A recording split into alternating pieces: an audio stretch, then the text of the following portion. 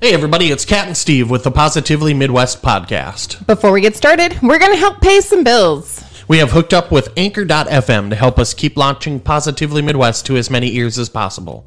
The more we expand our reach, the more lives we can help inspire. If you haven't heard of Anchor, it is the easiest way to make a podcast, and it's free. There's creation tools that allow you to record and edit your podcast right from your phone or computer.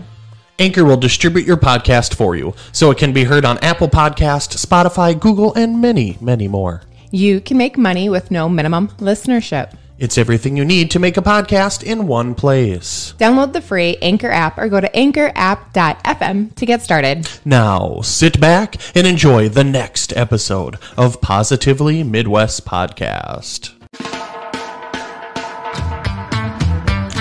Hey, everybody, and welcome to Positively Midwest. We are in episode 47, and across from me, as always, is my beautiful wife, Catherine. Hi, and across from me is my husband, Steve. Yeah, and tonight we have a very special guest. We have Shane Balkowitsch with us, and uh, he's going to tell us about his book, uh, Northern Plains Native Americans A Modern Wet Plate Perspective, and what wet plate photography really is, and all sorts of really good information. We're going to break down some barriers. Shane, you want to tell everybody hi? Hello. Uh, thanks for having me on the show, Steve and Catherine. You bet. Definitely. We are super excited and honored. Uh, you sent us a great book that we just mentioned, and there are some amazing photos in there, and it's something I've never heard of in my entire life. So, and a big shout out to Kat Perkins for um, connecting us, if you will. She's been a great support for us and, and a beautiful human being. Yes, absolutely. Woohoo, Kat. yeah. Um, so Shane, tell us a bit about yourself, uh, where you're from, what you do, um, anything you feel good about in your life, and explain to us just what the heck is wet plate photography.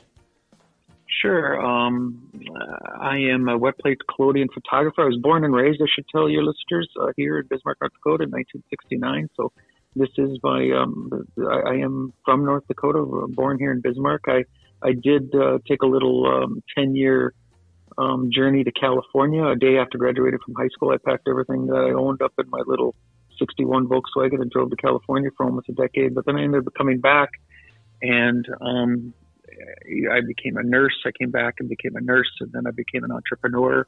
Um, I founded uh, a dot com in 1998 with my mother Sharon, um, and uh, we've been in business for 20 some years now. And then in the um, over that journey of you know being a CEO and, and the stresses of of uh, you know running a company and an online company is very difficult. It's a very daunting task. Things change very quickly. Um, I was looking for something um, positive or, or, something. I was looking for something different in my life, something um, that I could uh, take my mind off my uh, my corporate life, and I, I fell into this uh, photographic process that um, was invented by Frederick Scott Archer. He started working on it about 1848. He, he wrote, um, is in a journal entry in a science journal uh, called The Chemist in 1851, and he introduced this type of photography to the world. So, um, for your listeners, this type of photography, so you, you have to go back to Abraham Lincoln. Abraham Lincoln had his website taken um, back in the day. So, uh, it's, it's there's there's a lot of different photographic processes, some more obscure, but there was the daguerreotypes in about 1838, um, and then about 10, 12 years later, the the wet plate came around. And when when this type of photography came around, it was uh, revolutionary. It was um, people were able to get their pictures taken for the first time, and uh, it really uh, changed uh, changed humanity forever from that point. So all photographic processes, that digital camera that's on your phone, um, that is uh, a, um, a result of uh, what Frederick Scott Archer did, um, you know, 165 years ago. Wow, that's just amazing that even way back then somebody can figure something like that out. But you know, one thing that stuck out to me, uh, Shane, was you uh, you said you have a dot com company and and you're doing a great job. It's kind of a you know you wanted to get away from the corporate vibes a bit, and so recently uh, on our group we've been talking a little bit about like fulfilled. You know, like you maybe start a new job and you start um, doing really well, and then it just becomes you know a job. It's you're not like as challenged anymore. Is that kind of um, has this piece of the pie kind of made you feel a bit more fulfilled then? Well, I think once people um, get uh, a certain degree of wealth or they feel comfortable in their lives or they get to that point, um, I, can only speak for myself. I mean, I, I, just started to wonder what's the what's this all about? I mean, what's the what's the big message? Why why are we here? What is what is this this thing called life about? And um, you know, it's surely, and, and now I can tell you now that I found this this um, this photographic process in this way to share with the world and and um, you know it surely is not about money and um, capital and and um, physical things. Um, there is so much more out there, more meaningful stuff. So what I do here, um, you know, obviously I have to keep my eye on the ball with my business because my my youngest daughter's seven, so I've got some years to go yet. But um, uh, what I do, you know, in my studio on Fridays is so far uh, more of a spiritual kind of thing than anything I ever could have done in my corporate life. I, I always thought my, my company was going to be my legacy for some reason. It was very, very naive, and I've spoken about this before. Um, so, you know, you, you get to a point um, where you just you start asking yourselves, what is this all about? And then you do some searching, and, and I just was just so very fortunate to be able to stumble upon this and, and find this this um, process that um, it just feels like this is what I was always meant to do. Right. And because you had never had any form of photography experience, but it's like everyone needs to watch your documentary and then they'll really get a grasp of like what you do because this is a work of art. The process that you put into every one of these photos is absolutely stunning. Yeah, it's it's all about um, slowing things down. The old process is uh, is much slower than modern day photography. For instance, I, have students um, from the University of Mary and the Bismarck State College. I have about five to six classes a year come out, um, and I and I tell the students, you know, um, you know, we, we're so in much of a hurry. We're taking more digital photographs today in the last 24 hours than we did in the hundred, the, than more digital photographs than all photographs taken in the first 150 years of photography, and that's in one day. So we have this you know this um, large amounts of photographs being taken all the time, and we've kind of lost uh, composition and all of that. And and um, for instance, uh, not to get too technical, but my exposure times in my studio are about 10 seconds. So your digital camera on your phone will take a picture in one sixtieth of a second. So I tell the students um, it takes about 600 times longer to take a portrait. Um, and if you look about this romantically, and I've said this many times before, I'm not actually just taking a snapshot of people. I'm actually taking 10 second movies of them. So there's there's um, you know blood's coursing through their veins. Their heart beats about 12, 15 times. They take a couple shallow breaths. There may be a blink. And what I, I, I like most about this is that maybe um, if that person has a thought during that 10 seconds, that that thought is somehow transferred to the plate. And it's the only way that I look about it. And, um, and when you when you open your mind up to this um, new way of creating it, it's just been spectacular. So what what gave you the passion to um, look in want to look into the wet plate photography and uh, you know like how you describe it already in general is just you know it really inspires me and I think you could use that with a lot of different contexts you know but man the the art I've always been curious about artists and photography you know art through that what gave you the passion in, in this specifically well, the passion had to be there. I, I think I just didn't know where to apply the passion. So I've always, I've always been, I, I was a creative person, I was a visual person, and I've, I've realized that after finding a camera for the first time, you know, eight years ago, that you know, I've always looked at things visually um, in in certain contexts. But you know, when you're making these images that I'm making are, are made out of pure silver, and silver doesn't degrade, so these images will be here hundreds of years from now. Um, they will outlast any other photograph ever taken of whoever I'm taking the picture of.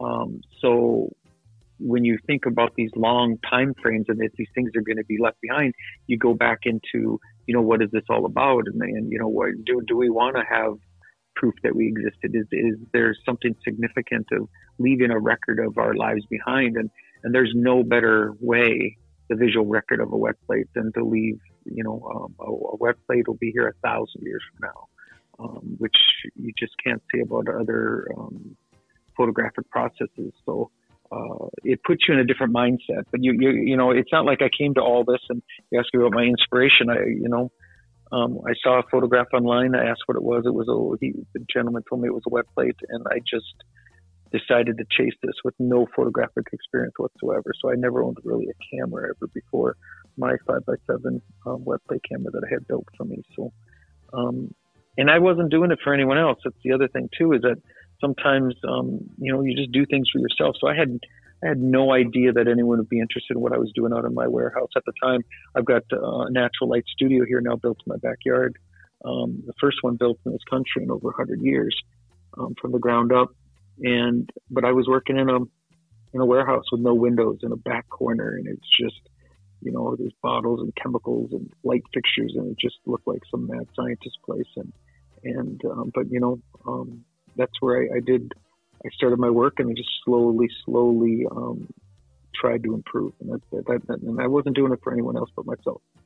Yeah, that picture of your studio and uh, of you in there, and um, man, that just that studio is absolutely looks amazing. And I can't wait till Catherine and I can come up there and check that baby out because you got all these photos awesome. out there and that that natural, um, you know, the glass that comes through to get the natural light. God dang yeah, it's how they made photographs. You know, they didn't have electricity um, back in the day, so you never uh, back in the Victorian era you weren't taking pictures at night. So everything had to be done during the day. And you know, we can cheat nowadays with electricity and stuff, but um, it's nice um, when I was able to get the natural light and get away from the electric lights and um, just using the sun.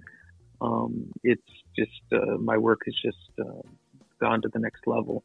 Um, but it's it's been a, a slow um, progression um, from my early work. And, uh, you know, I think at first I was making giant leaps at, at, at that sometimes. And, and now it's, um, you know, these are little baby steps or minuscule little changes um, to just improve and to, and to, and to search, um, you know, to search for that perfect image, hoping, hoping I never get that perfect wet plate. Um, I, I don't, I don't have that desire to ever find perfection um, because of, and again, it, it, goes back to your example of having a job and just kind of get monotonous or whatever.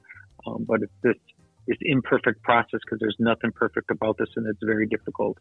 Um, but it's, uh, it's that pursuit of perfection that just keeps you, um, keeps me coming back. So, um, I never want to, um, I never want to perfect anything. I just want to strive to get better slowly. And I, um, you know, and the, one of the most beautiful parts of this process is that uh, the, the wonderful people that have been brought into my life, hundreds and hundreds and hundreds of people, um, have come into my life now that I never would have met if I didn't have this this um, this artistic outlet.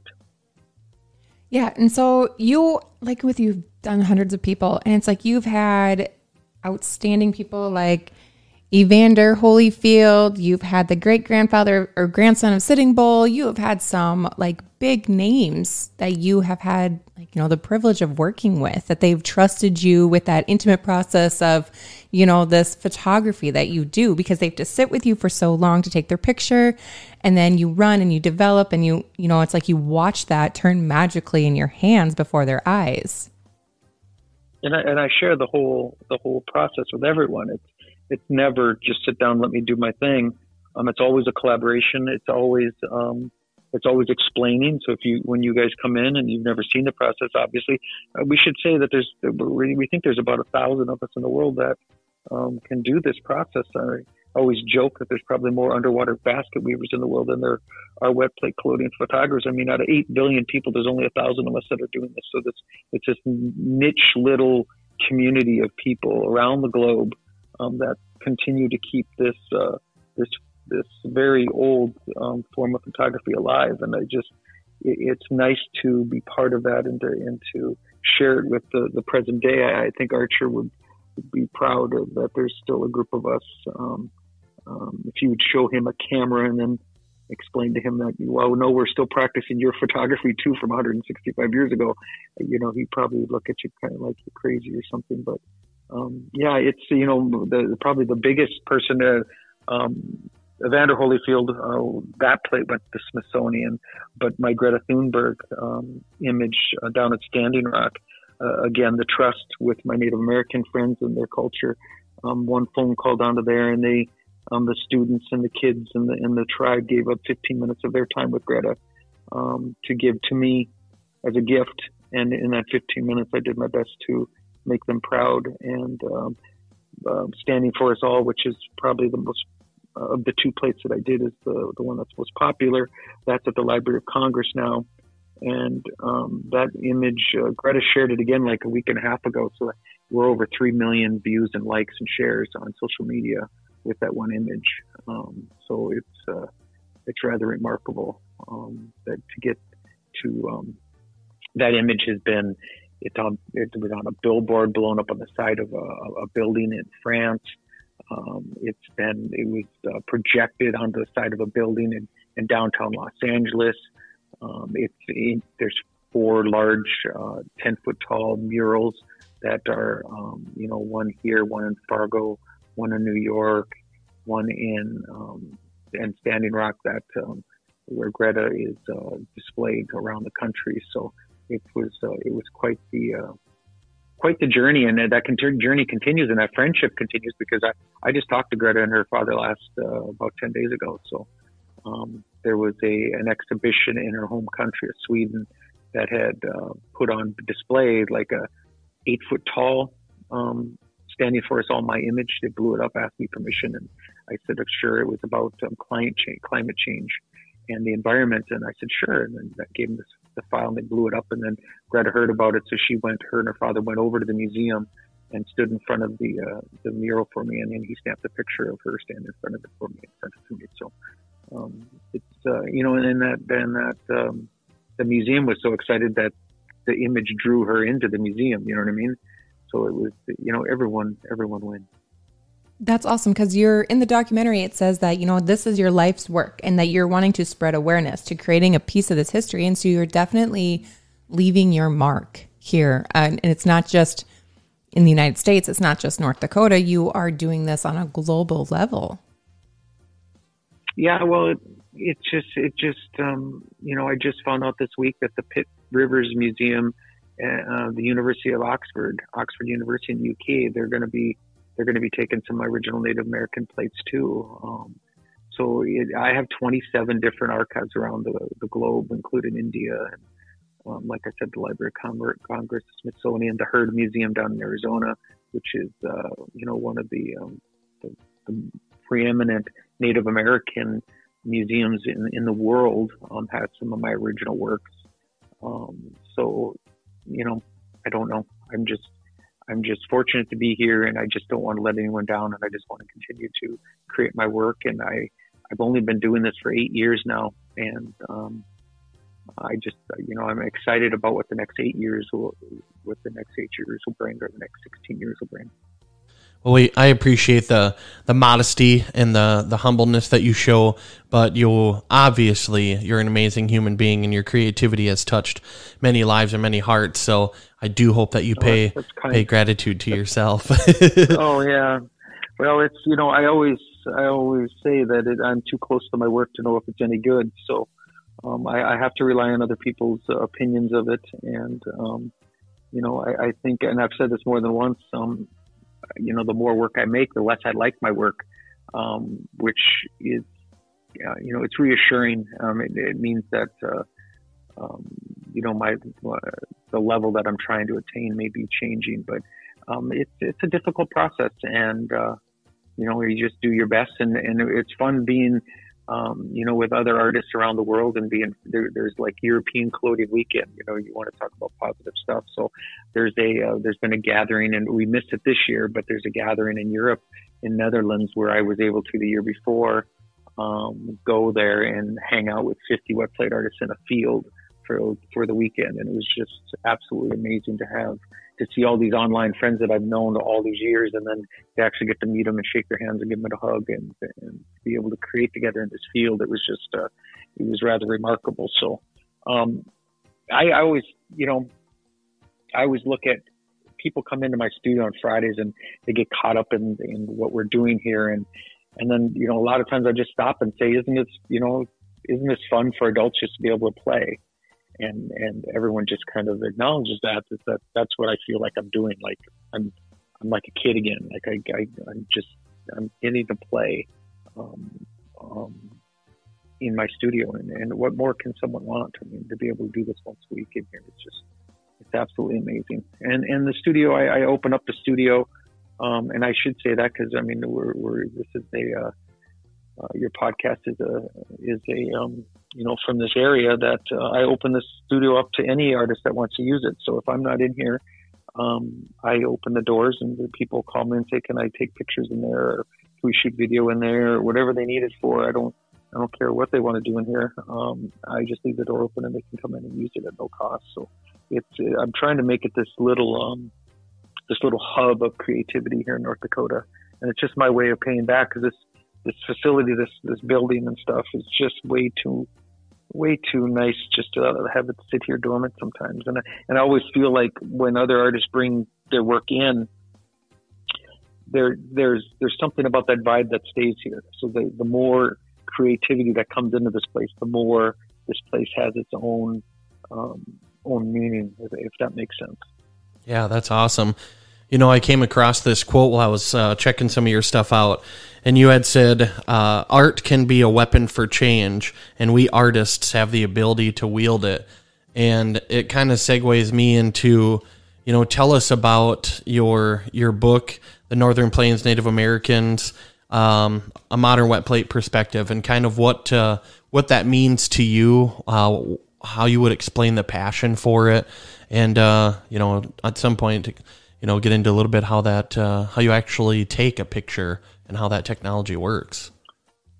Yeah, so it all started. Um, I was making wet plates, and then um, I was uh, I learned about um, Orlando Scott Goff, a wet plate artist here in Bismarck, North Dakota. I had learned that there was a historic wet plate photographer um, back in the 1880s here in Bismarck, and I did some research on him, and uh, it, turned out that he was the uh, photographer to capture the first ever photograph of Sitting Bull um, here around Bismarck, North Dakota. So Orlando Scott Goff, Orlando Scott Goff is credited with that task. And if anyone wants to read about if there, you have any history buffs that listen to the show, um, if you go to Google and type in Orlando Scott Goff, G-O-F-F, um, the first or second link down will be a document from the Historical Society of North Dakota.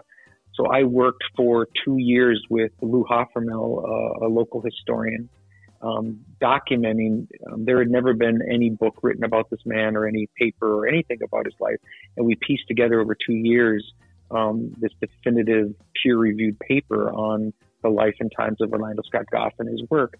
And it was my way of just wanting to bring back and pay homage to a man that I obviously never met, but um, I, I always thought that wouldn't it be cool if someone 150 years from now wanted to do some retrospective on my work. So it was it was that kind of thing, and and the Historical Society of North Dakota um, made that document their entire um, quarterly journal was dedicated to that, and you can learn about him. So he had taken the first ever photograph of Sitting Bull.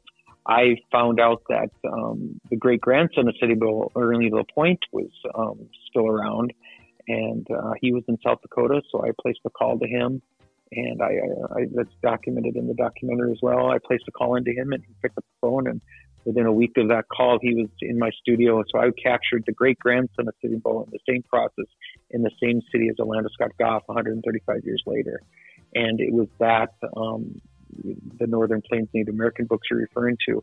It's Ernie's uh, picture called Eternal Field that's on the cover of that book um, that started this entire process, and I didn't again, it wasn't anything planned or, um, but you know, I shared that image and that image, um, caught the eye of the historical society in North Dakota and they, it knocked down the doors over there. Um, so that was the first plate that they had ever, um, taken of mine into their, um, archive and they have nearly 600 of my plates as of now. So, um, they got this, it's called Shane Shelf in the state archives and uh, you go in there and there's all these boxes and these acid-free sleeves, all my original plates of all my Native Americans and some other plates that I've done some of my creative work um, is indefinitely stored in their, their climate-controlled um, vault, which is, um, as a photographer, I mean, it's it's huge. Um, uh, you know, to have that trust and to have garnered that trust, but it wasn't, you know, it was it was a slow it was a slow burn kind of thing to to get to um, one step at a time, and and um, that's where I'm at today. And uh, I, you know, every month or so, three weeks or so, I take more plates up there. And I, the the series is uh, the end goal for the series is 1,000 Native American portraits, and um, so I shot plate 452 this week, and I've been on this for nearly seven years. So um, it's about a 15 to 20 year journey. So every 250, I'm approaching 500 plates now. So I'll make a second book in 2021, hopefully. Um, we're starting to work on that. And uh, at the end of a thousand plates, we will have uh, four books sitting on the shelf. And that's what that series is all about. But it's, um, um, I, I didn't have any Native Americans as friends when I took that first ever photograph of Ernie.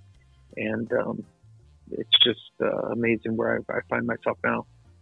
And it's one of those things, like you said, this is a long series. So it's going to be a long process, 15 to 20 years. And so it's definitely one of those things that's like your patience has to become part of the art and part of the positivity in your movement of doing this because you said, you know, it's not that instant gratification. So it all is about enjoying those small victories along the way. Every little picture that you do get to do and every little sitting that you do, it's like kind of builds up that excitement and that anticipation and that gratitude a little bit more it just stacks those images. So every like I, I made another, I captured um, um, more images this last Friday, and it, it just keeps building on on that that that groundwork that we've already worked on. So it just it becomes more relevant. It becomes more significant with every plate, and and it is about little victories because I mean this is um it's a daunting task, and and I and I I was going to do ten portraits to start for the series, and then I went to fifty, and then I went to hundred, and when I got to hundred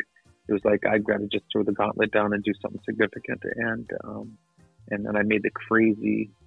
I had the audacity to say, well, let's try to do a thousand Native American portraits. And um, it's uh, um, it's just a it's every day you just celebrate the the next portrait and you just keep going and keep your head down. And I just hope I have enough time um, to to do this. Um, as an oncology nurse, we should also tell your listeners I'm an oncology nurse by by trade. So, um, you know, I've hand, held the hands of many people as they've passed away, and I know that we're only here so long. And and um, the positive part to take about that is that you know, what do you what do you want to do at the time that you're here? We're all all of us are only given so much time here, and we should try to make the best of of um, of what we got and what we're able to do. And for me, it's always when you're as fortunate as me, and I'm you have no idea how fortunate I am in so many ways.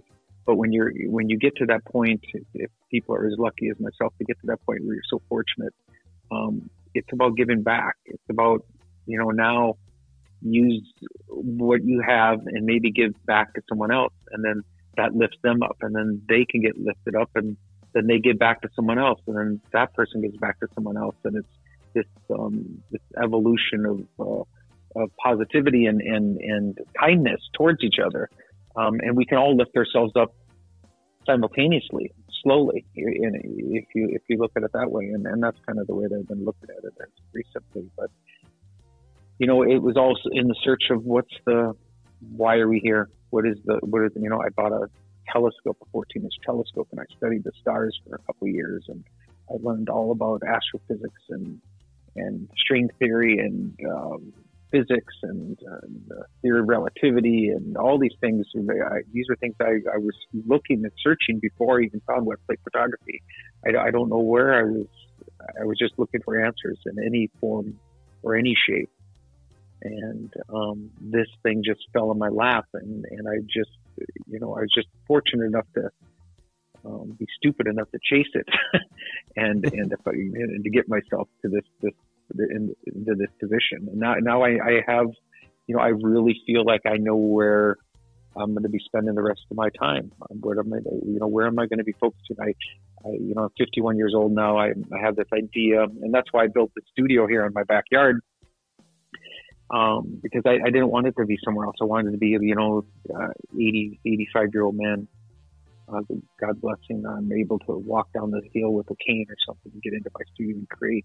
Um, pictures. It was just, you know, it just felt felt natural to have it here at the house, so that it was, um, it just is, um, it was very close to me. I can come down here whenever I want and just uh, in the quiet and just create and do all the things that I need to do down here. It's, it's rather remarkable. So I have this little um, sanctuary of creativity, and I, and I can escape from the world when I need to. And um, but I didn't, you know, I didn't have that. For, you know, I was 44 years of age when I found this. So, um, and uh, so I'm very fortunate. I, I keep telling you guys, I'm very fortunate. Well, it's a great way to put it. You know, really.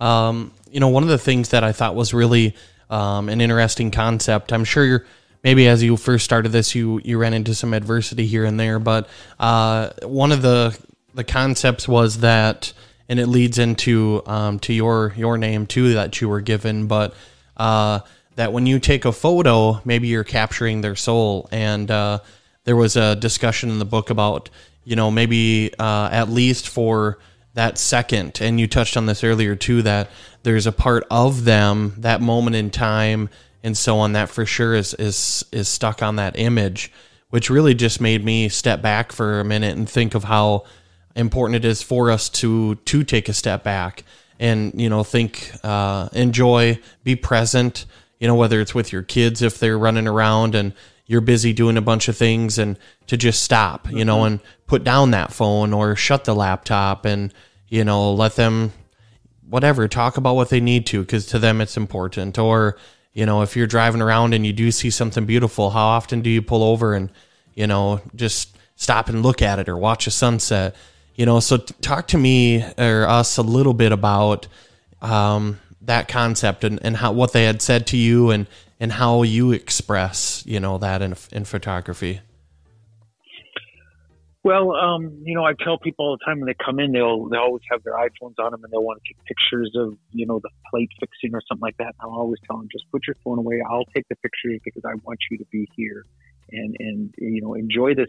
Uh, you know, it's not every day you get your wet plate taken, so we'll, we'll put our devices away and let's just put this uh, you know put this into our memory banks. And um, it, it's just so much so much better that way um, instead of uh, um, always always not being, like you said, present. Um, be present and, and try to uh, understand uh, that. Um, one of the things I've struggled with is that, you know, I'll, I'll take a, a, portrait and we'll all just like high five and it's we're all excited about the and it's, it can be any given portrait and we're excited about it and and then, um, you know, then I asked the person, I'll ask them, I said, well, what if I drop this portrait? I break it, I shatter it. And, and usually the sitter said, well, I'd be devastated. I don't, you know, I, I you know, I, I hate to lose that image. Like, but you know, 20 minutes prior to that, that image was nothing more than a you know a twelve dollar piece of glass and some silver in a bottle, and and it had no real value. That's to say, you know, all these pieces that have no value, they you know they come together. And then when I get one of these portraits, uh, because these are one offs, that, means there's no other way of duplicating these in the world. Um, there's only one wet plate, you know, that uh, the wet plate of Evander Holyfield is at the Smithsonian. That's the only one. I mean, I can have a scan of it. We could do it on prints and we can do it on paper and we can even probably reproduce it on glass if we wanted to, but there's only one of those images.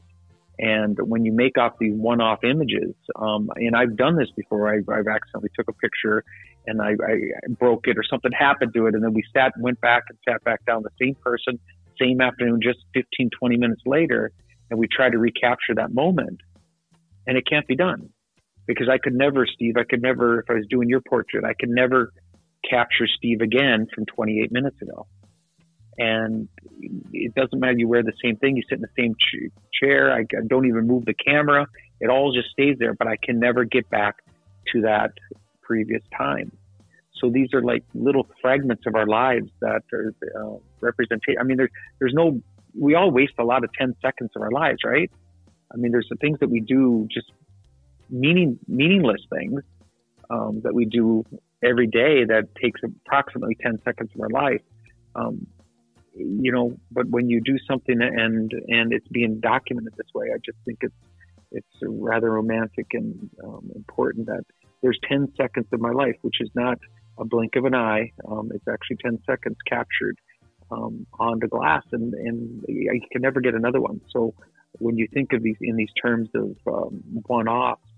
Um, and, and, that's what I love about this process is that there's really the students will come in and they'll see a, a print on the table or on display on the wall or something like that. And they'll go, I love that work. And then, and then I'll say, well, that's not my work. And they say, well, you took the picture.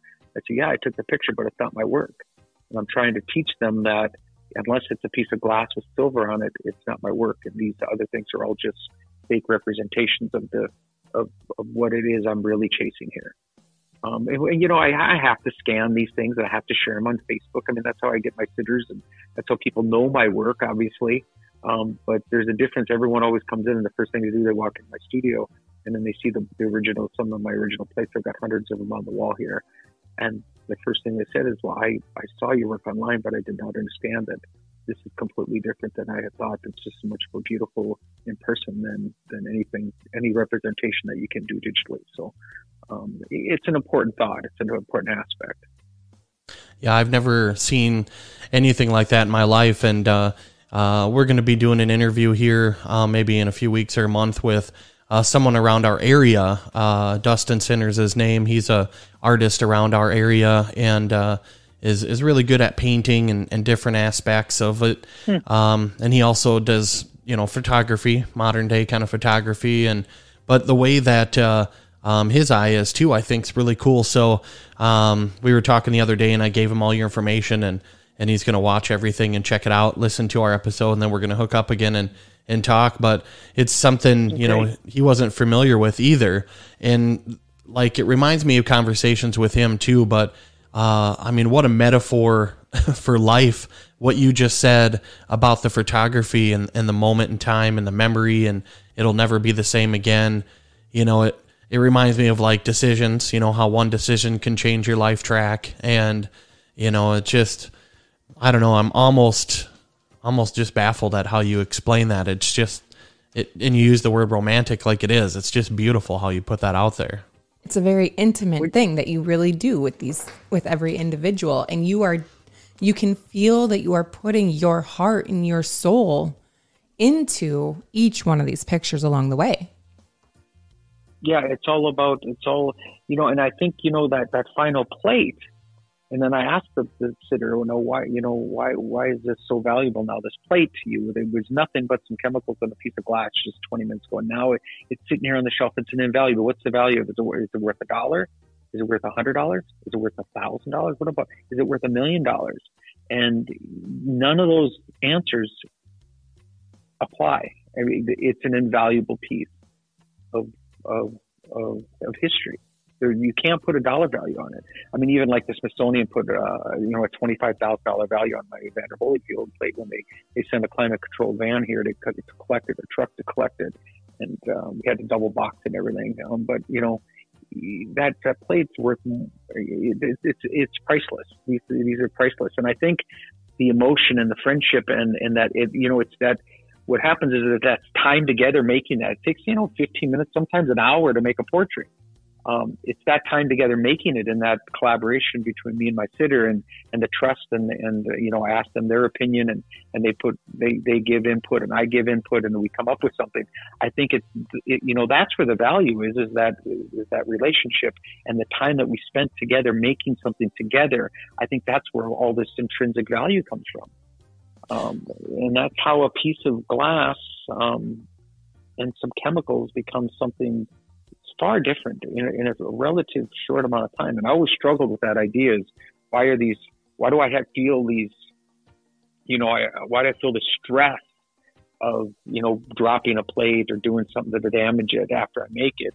And it doesn't, it doesn't matter. It's not just, I don't feel that stress in my Evander Holyfield or my Greta Thunberg uh, images. I mean, when I made Greta Thunberg's images, the plates have, they have to dry. Okay. And we were in the mobile darkroom in, in my vehicle and they were sitting on the floorboard. So I had the only two wet plates of, of, of, of her in the world in my possession. And I sat there and just, I just watched them dry.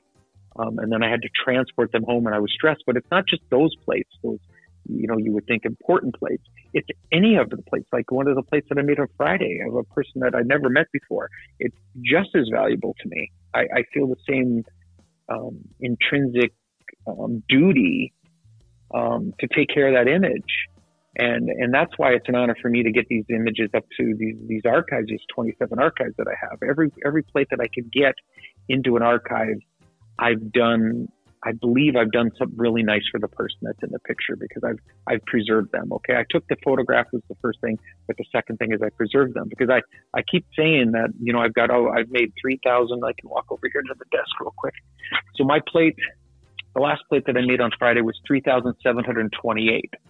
I've made that many images in the last eight years. It's taken me that that long to make that many exposures, and um, I can you know, I have to get them somewhere. If I if I left, um, and it's in my will that all of my works on the wall here, my my family will be picking out uh, three plates a piece to each one of my family members, the plates that they like, but then all the other ones will be in my will go up to the State Historical Society eh, to protect them because I, I feel like I'm doing, I, I have a duty to the person that came in and spent the day with me or the afternoon or even to 20 minutes like Greta did.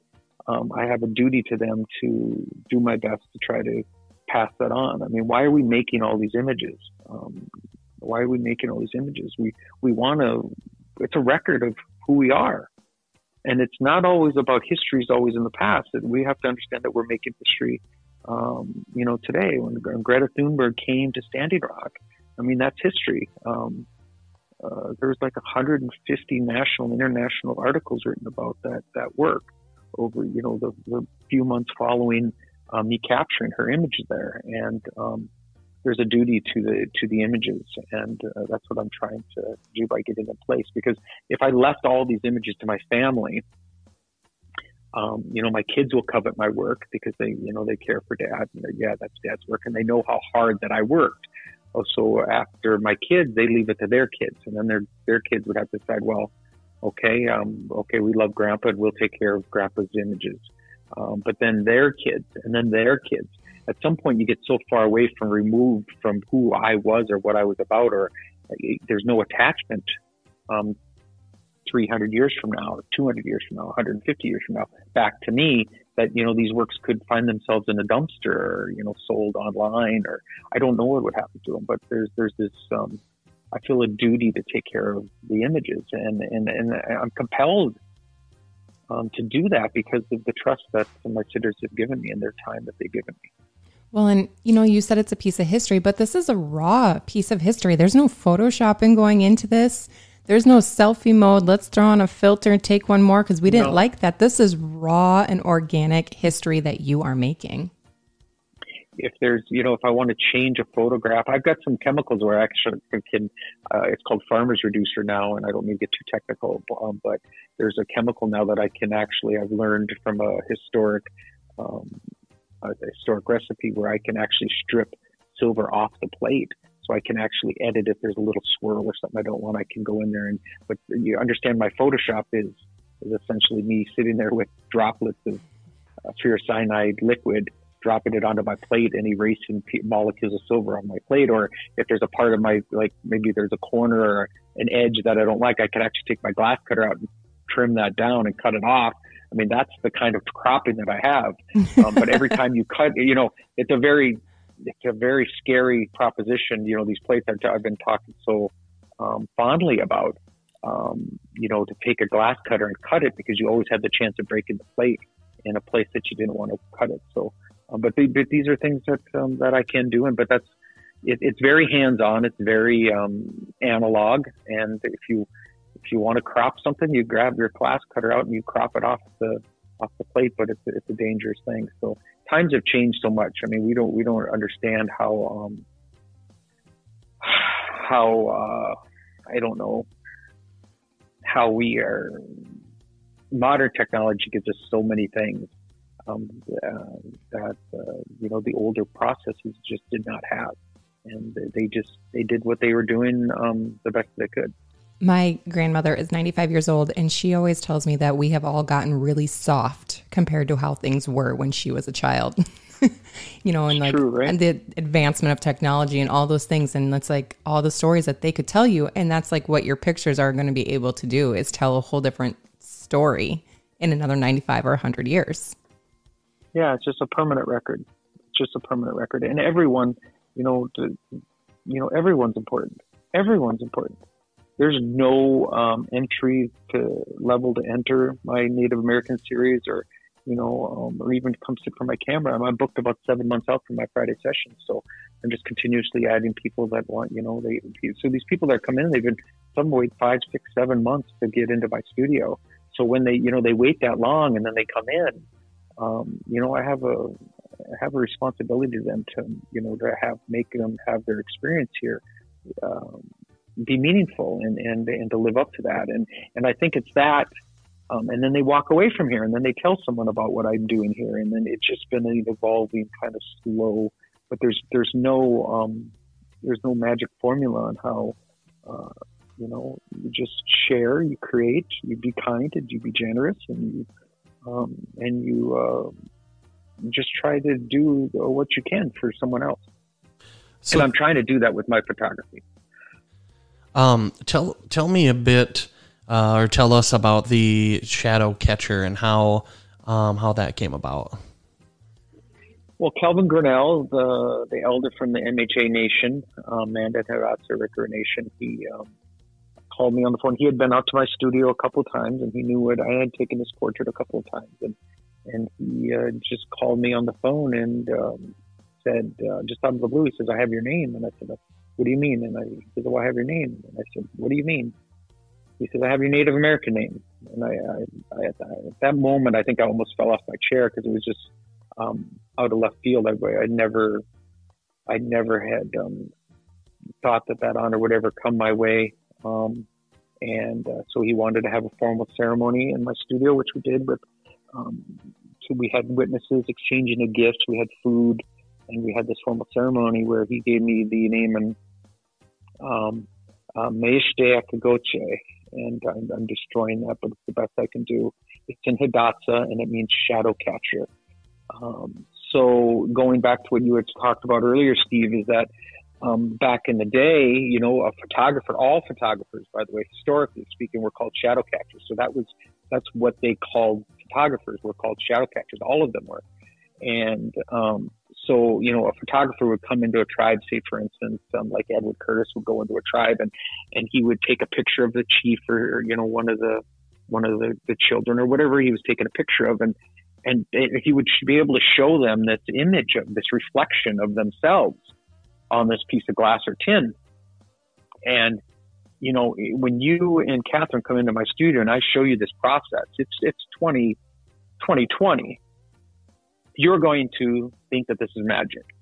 I'm I'm I'm going to perform magic for you. I mean, that's how fabulous this process is for people that have never seen it before. But can you imagine you know, and you you and your wife have seen all this technology. You know about all the things, bits and bytes, and TV screens and monitors and all these things. And here I'm going to show you this 165 year old photographic process, and you're going to think it's magic. Well, can you imagine what the Native Americans would have thought? When you know these photographers who come in with their wagons and, and do these photographs. So they had the feeling that you know, okay, so he took that portrait and he's driving away in his wagon with that portrait, and they had this feeling that you know that um, and I, I I'm not saying everyone, but this is where this whole this concept comes of the, the stealing someone's shadow or their soul is that you know how could he leave with that picture of our chief when he's still here with us? And there's that disconnect. There's that how he, he, he must have taken some of our chief with him because he, you know, he's two miles away from our camp right now. And we know that that plate's still in his possession and still got our figure, our chief's picture. So there, you know, that's where that entire thing came about. And, and, um, the moment that Calvin gave me this name, this formal name, which is the, the largest honor of my life, um, that day, um, when my uh, Native American friends come in now, they're they're no longer strangers. They're my brothers and sisters, and um, and I was completely, totally dedicated to the series before the naming ceremony. Um, but as soon as I was given that formal name, and um, the reaction that I get from people in the community that know me as Shadowcatcher now, um, and the respect that I get as Shadowcatcher, and um, I just I just can't let them down. I just have, you know, it was it was like tenfold what I felt before. Um, and again, it was all unexpected, but I, I, just cannot let them down. So every time that they come in, every time someone comes in for the series and they, they're driving in from all over the place. I just had someone fly in last week from California. I mean, flew in during a pandemic, to Bismarck, North Dakota, to come into my studio and spend three hours with me to do portraits. And then he got back on a plane as well. Um, you know, you, have to, yeah, I got to put them in the best light I possibly can. And there's a lot of pressure there, and I feel the pressure. Um, and I just try to do the best that I can for them. Yeah. How, how do you, you know, how do you deal with some of that pressure? Is there, um, I mean, I think your work speaks for itself when you look look online um, at your website and you watch the documentary. You know, your passion comes out in every bit of that. But uh, you know, are there some practices that you do to kind of stay positive and not let it just get you into a rut or you know keep you keep you upset? It's never a rut. It's it's like intent. It's what what is my intent? My intent is to do, do the best portrait. Understand? I'm I'm not the best photographer in the world. I mean, I, um, you know, I've got a long ways to go yet. So, um, but it's the intent. When they come in, um, I don't think anyone's ever come in and not felt that Shane did the best darn job that he could on that given day um, for that that portrait.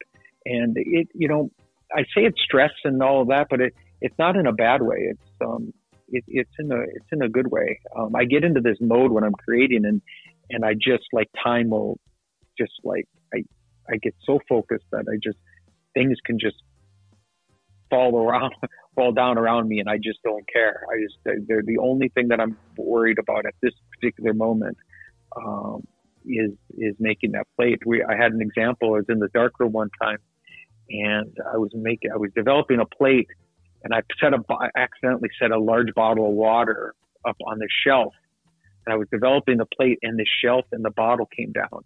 And it sounded like the whole building came down. Water splashed everywhere, broke glass everywhere.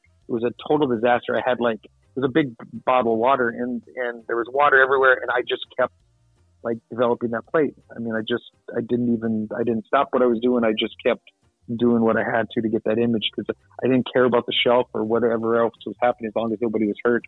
Um, I didn't care about any of that. All I was focused on is getting this plate, and I can I can pick up the pieces to everything else. So it, it's um, I get rather focused when I'm when I'm working, and and that was one of the realizations of. And we should tell your listeners if they want to watch the documentary, they can um, they can get it on Amazon Prime. It's Balkowitsch, B A L K O W I T S C H. It's on Amazon Prime, or if someone's out of the country, they can get it on Vimeo. It's also available on Vimeo, and um, you know, it's uh, it was it was a wonderful uh, it was a wonderful journey having um, Greg and Chelsea chase me around for a year and a half, um, and and to document the uh, document the work that I'm doing here. They wanted to do a five minute short, and and you know, uh, a year and a half in, they were it was an hour long documentary on my work. So it was it definitely was, uh, really interesting to watch and see like the process of your sittings with just like your individuals and then seeing the process of developing developing those pictures because how long is it after you snap that picture that you have to put the chemical or do the whole processing well if like- it dries it's called wet plate for a reason so if it dries you lose the image so you know in a climate controlled building like this we probably have maybe eight to ten minutes or so you know, outside when it's 90 degrees, um, you know, you only have a couple minutes sometimes. It, it all depends. But that was the, the funny thing about, about the documentary is because I never, the documentary we need to say is, is, was their work. I didn't, I didn't commission this. Um, they didn't get paid. I didn't get paid. Uh, nothing. They decided to do this out of the goodness of their hearts um, and wanted thought that my story. Um, this is their first documentary, and so I saw it when it was completely done. I had no, I never had seen any footage of it at all until it was completely done. I went over to Greg's house and they put it on the big TV, and I sat there and watched the documentary for the first time. And I had him pause it about ten minutes in and say, "Is this actually how I am?" It was this weird, you know, I never had this experience of watching myself before create. Right. And they said, "Well, that's how you always are, Shane." and I said, I'm, I'm, I'm, you know, I, I, I'm that serious. I'm like, you know what I mean? I'm, some point, point, out, sometimes it's frantic. Sometimes it's, you know, there's all these emotions and stuff. And I, and until I saw myself in that documentary, um, acting that way and, and with the concentration in the way that I am, I think there's one point in the documentary where we're making that picture of, uh, liberty trudges to injustice. And I, and I, I, think I said, God, just give me anything on the plate or something like that. I'm walking in the dark room. I mean, I'm like saying little prayers and you know what I mean? Uh, talking to the Collodion gods, I, I don't, I'll, I'll, do anything to get that image. And so, uh, but you know, those big collaborations, uh, you're, you're talking, it was like 52 people in eight months of planning. Right. So there, there's a lot of pressure there. And it, people look at it like you seem stressed and it's like, well, yeah, I don't, I don't feel it that way. You know what I mean? I may appear that way, but I'm in my element. And if I could, you know, when I'm, when I'm creating, I'm, I'm just a happy man. So, you know, that becomes um, your adrenaline rush in a sense. Like i'm i'm kind of an adrenaline junkie myself. And so when things become mm-hmm. really busy like that or really hectic like that's when i feel the most in my zone. And so that's kind of what this becomes for you.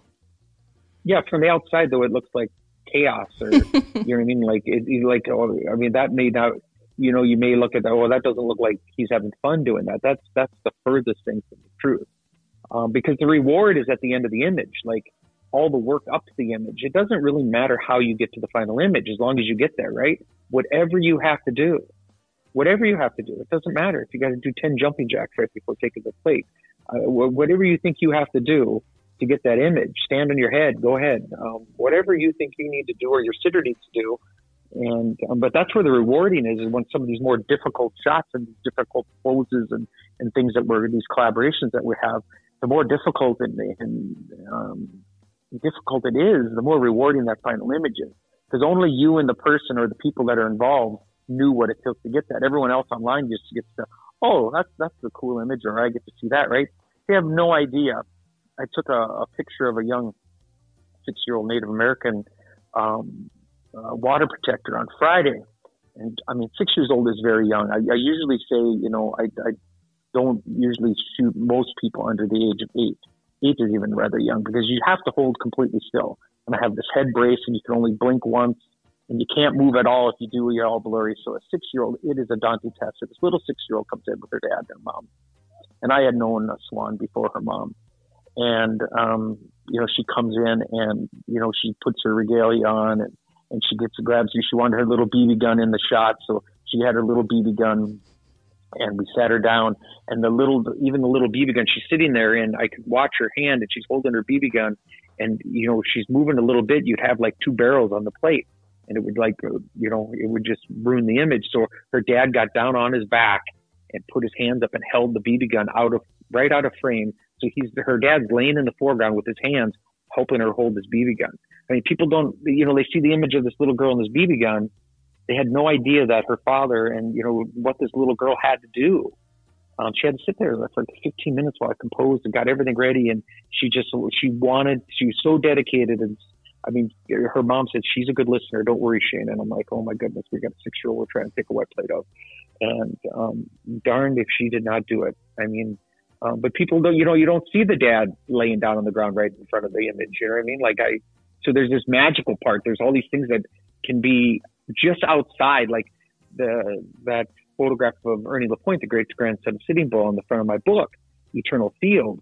There's a waste management dumpster just ten feet out of out of the the frame, and there's semis and cars. There's a freeway behind Ernie in that picture. If you look at him in the field, there's cars driving by, and and they're so fast.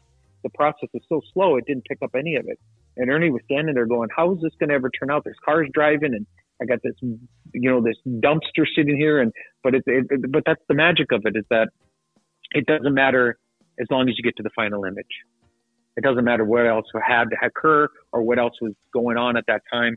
As long as the final image stands on its own, um, that's that's that's that's the miraculous part. That's that's the best part of it all. Right. Now, tell me more about your collaborations as well for everyone. It's like, how many have you done of these where you're recreating these old portraits or these old paintings? Yeah, so we uh, we started with Murderers Gulch. Um, so the city of Bismarck let us take over an alley. There was actually a Murderers Gulch here in Bismarck um, back in the 1800s. Um, there was like 14 people were um, documented to have been killed in this little alley. It was where a bunch of bad people lived, and the saloon was there. And and I mean, this is very well documented. This place. So we went uh, into an alley in Bismarck, and there was uh, a whole bunch of us collaborators. Over forty of us got together, and we took over this alley. We did Murderers Gulch. Um, and then we did the uh, capsizing of humanity the following year, um, where we did um, based off the raft of the Medusa uh, which is at the Louvre. Um, we made a uh, waves and everything out in the middle of the field and built a boat and, and had um, you know all the collaborators there. And then we did Liberty Trudges Through Injustice was another large collaboration um, where we were trying to um, reproduce Liberty leading the people.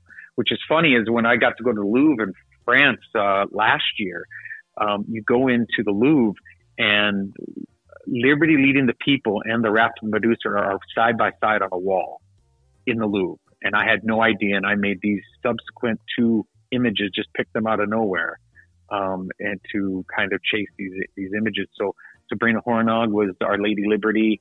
And, um, and we were able to, uh, that was, uh, I think it was 52 people, and that took us about eight months to collaborate. So we bring in hair and makeup, we uh, costume design, set design. Um, it, it's like a movie set, and and we, we have one planned this next July.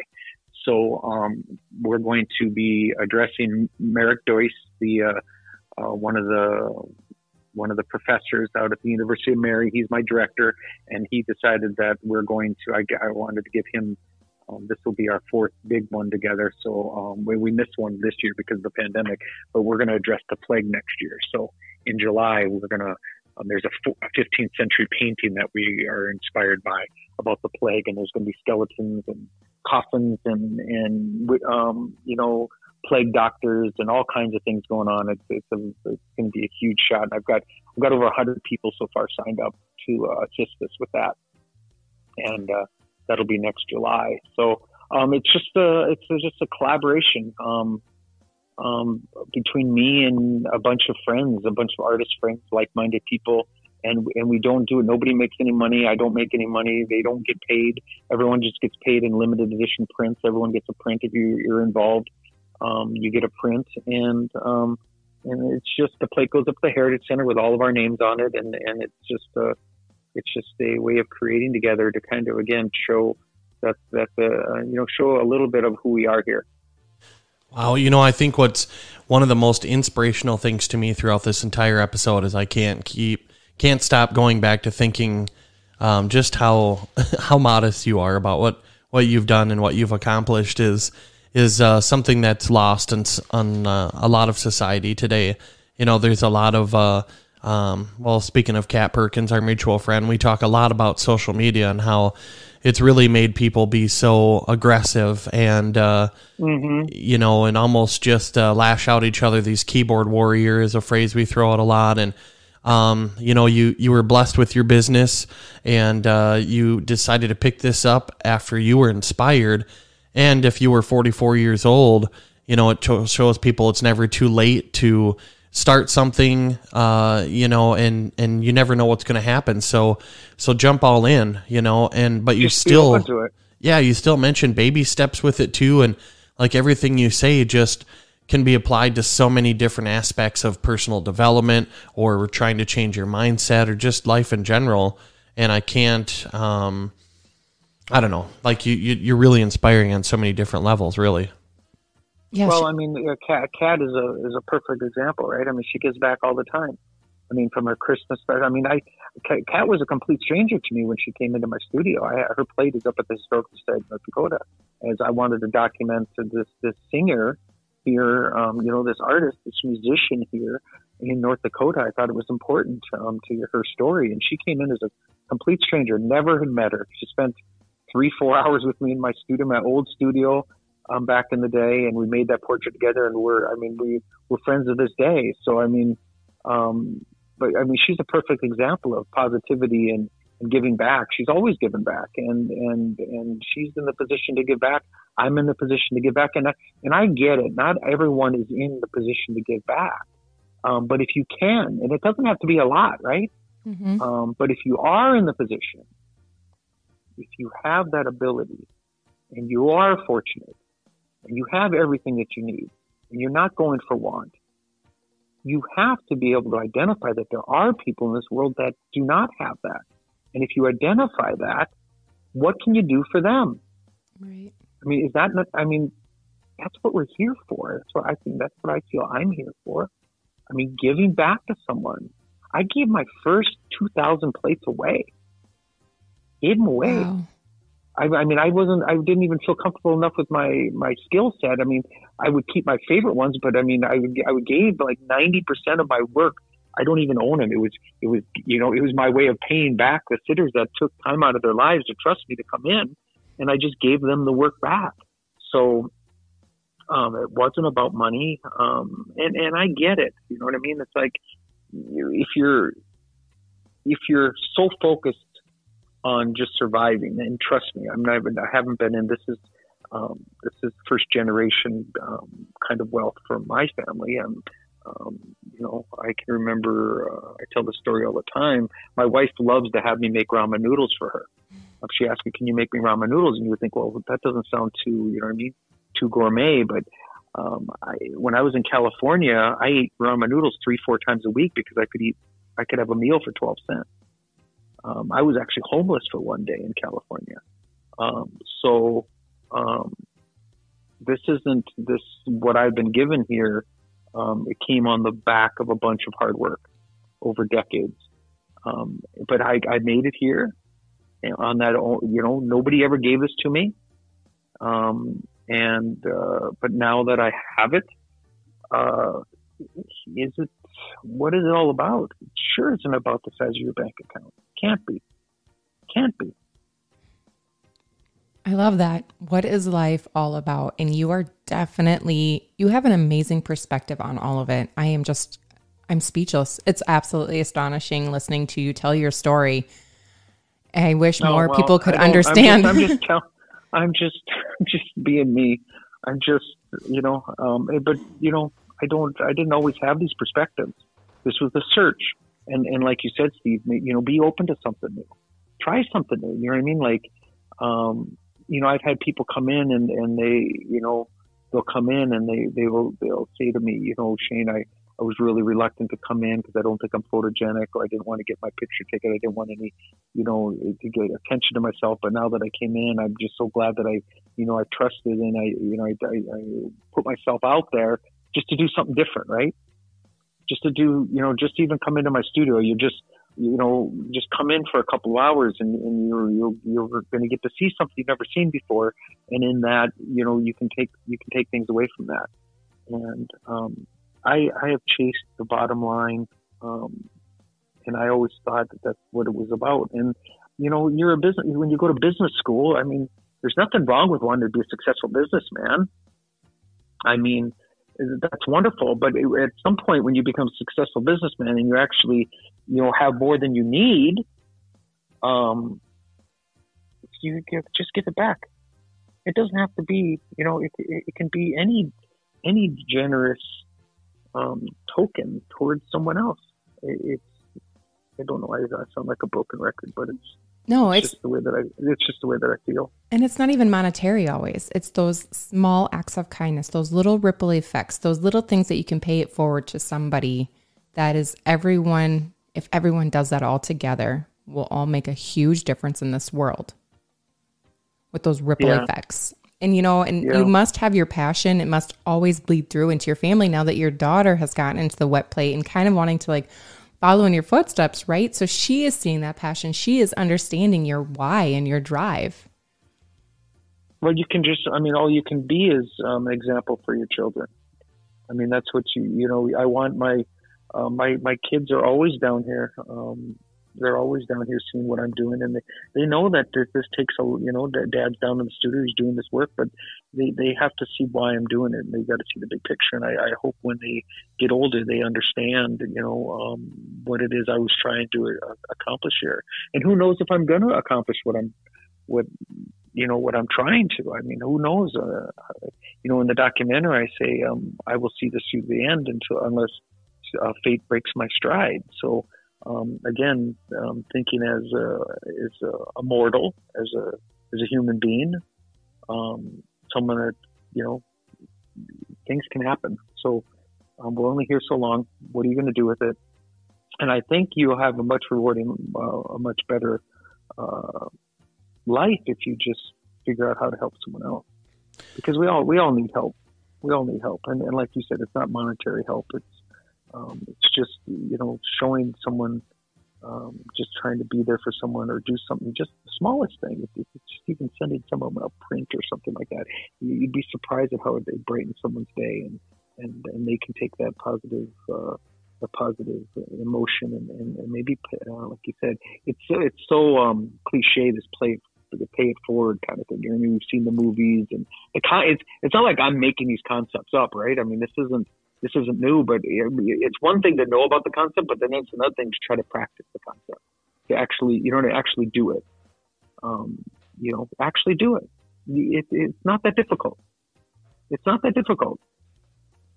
No, that was something that, uh, interestingly, because I don't believe in coincidences and irony much anymore these days, but interestingly, a uh, uh, motivational um, speech from uh, I think it was Tony Robbins earlier I was listening to, and he talked about that. And you know everything you've been saying. Uh, um, when I first opened the book, the first thing is the dedication, and and I want to take a second just to read this and and get your thoughts and and some background on who uh, um, who this is from. But uh, it says Shane's work shines on its artistic merit and for its collaborative nature. It is genuine and enthusiastic on a human level. For the folks of many different Indian tribes who sit for his portraits and who often become his lifelong friends, Shane builds lasting rapport. It is this rapport and the importance of the honest collaboration between people of different cultures that is so vital for our country, and it is the heart of moving this nation or moving forward as a nation. I strive to emulate the rapport that Shane has achieved in his art and the work I'm doing in Congress. Shane's photographs are not only beautiful, they convey the best example of good people working together to achieve something great. Congresswoman Deb Haaland, who I just spoke with two days ago. Wow. That's why I don't believe in irony yeah. anymore. I, I, I text I te- Deb Haaland and I text back and forth once a week. I mean, we are we are in each other's lives. I mean, she's busy. Can you about imagine? Um, one, one, one of two First Native American congresswomen of the United States. But um, we talked this week because they are there. There's rumors, um, and then my image of her, my portrait of her, that is um, at the historical site in North Dakota, and then there's one down. So I took that day. I took four portraits of Deb Haaland. Um, one of them went to the historical site in North Dakota, part of my series. One of them went to Arizona um, into her historic society, which was a promise of mine. One is on her wall hanging in D.C., and the one here is here with me um, in Bismarck. Um, but it, there's rumors that um, Biden is going to possibly um, select her as the um, Interior, the Secretary of the Interior. And can you imagine having a Native American as the Secretary of the Interior? I don't don't know what would be more poignant and more special than than than than having that um, than having her be uh, selected for that position. But that's what we are talking about this week. So um, there's uh, some of the tribes are getting together and they're putting um, they're putting lists together. People are signing petitions trying to get Deb Haaland as the as the Secretary of the Interior, a Native American woman as the Secretary of the Interior for the United States of America. Um, I don't I don't know what to say about that. I yeah, mean, I, I could. I mean, I just that just almost brings tears to my eyes when I when I heard about it. So we had a conversation. And I, you know, I told her I hope she can do this, and she says, "Yeah, I want to do it." And she did an article out there, and that she she gets uh, nominated or he selects her, that she obviously wants to do this job. So uh, we'll, we'll see if that happens. But it's just even the idea um, um, that that can happen is just it's just a wonderful idea. a female Native American as the Secretary of the Interior for the United States of America. I don't, I don't know. It doesn't get any better than that. Well, yeah. But Deb is a, a, fabulous lady, absolutely fabulous lady, and we, we spent, you know, the the documentary again goes into her visits, and and um, I was supposed to have like three hours to capture these four plates. Her plane was late and she arrived. We had the book signing at one o'clock in the afternoon on a Saturday, and she did not even get into the airport till like ten thirty-five. I picked her up at the Bismarck Airport and had to rush back to the studio, which is about ten miles away, twelve miles away. Get her portraits done. I had forty minutes to capture four portraits of the of, of her, and then we had to get onto the book signing. So it was this crazy day. And in the documentary, you'll see you can feel the weight on my shoulders um, when I'm talking to Margaret about it. We just have to get the portrait. That's all that matters. The book signing, you know, she came in congresswoman in the United States on her own dime flew in from Washington D.C. to speak at my book signing. Um, how, when does that happen? I mean, this isn't I, this isn't her state. This is North Dakota. She had never been here before. I think she had gone to the Dakota Access Pipeline during the protest. She had been here there briefly, but I mean, this is there's she has no reason to come to Bismarck other than that she knew about my work and um, wanted to come and and and uh, support me. I mean, that's just that's nonsense. It's Crazy. monumental. Yeah, it just shows so, how these much. are the these are the things. These are the things that um, come my way. Yeah, and there's I always believe there's a reason that our our paths you know intertwine, and uh, you know what you're doing, even though you're extremely modest about it, you're bringing a different light to a whole a whole culture and to a whole technology. You know things that are uh, that are lost and some things that are modern. You know the the technology is a lost art. You're one of a thousand people out of you know a hundred bajillion people, and that means that's monumental as well. Plus, you know the book that you've made and all of the photos that you've made. You know, it just, I, you know, I I just I commend you for for what I'm, you you're I'm doing out there. Just getting started, Steve. I just feel like I'm just getting started, buddy. You know, and um, eight years is not a long time. No, no, it is not. You know, you're talking about paths and how like things just seem to be working out and coming. You know, it's like you, you know, wanted to document Kat Perkins when, you know, she was like on, you know, becoming the celebrity and she's hitting it with her singing and her stuff. And Stephen, you know, randomly met her at a restaurant in Watertown, which is, you know, our main town near us here.